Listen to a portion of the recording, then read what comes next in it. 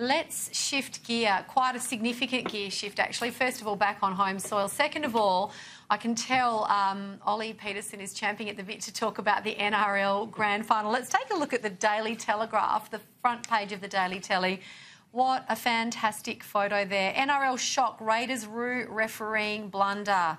Red, white, and a blue. Ollie, as our as our resident NRL expert tonight, all I understand is that there was uh, apparently a blunder and an absolute doozy too. Yeah, it was a shocker, Gemma. The whole season, the whole rugby league season has been marred by referee incompetency and uh, poor calls. And tonight, a referee has cost the Canberra Raiders the premiership. It was at the stage eight all, and the referee waved his hand up in the air, which was to say six to go. So the Canberra player Jack Wighton thought he had another six tackles. He was about 15 metres out from the Roosters line, and then blew his whistle and said no changeover. The Roosters scored, James Tedesco scored, and all of a sudden the Roosters have won the NRL Grand Final. The Raiders have been robbed.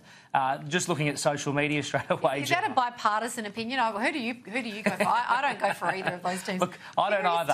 I do go for the Dragons. I don't like the Roosters, but I can tell you now that this is going to be running hot on the talkback lines in Sydney in particular tomorrow and this will be the most controversial end to a National Rugby League grand final. As I say, the refs have been under the pump, and this is just the cherry on top, if you like, oh, an dear. absolute shocker. Christy, has it had any traction in, in the uh, wonderful, great state of Victoria tonight, or is everybody too interested in other things? Oh, I think everybody's too interested in other things. Look, the Melbourne Storm, despite being a hugely successful team in Victoria, they, the NRL doesn't really rate a massive mention, unfortunately, because as you know, Ollie, the Storm does quite well.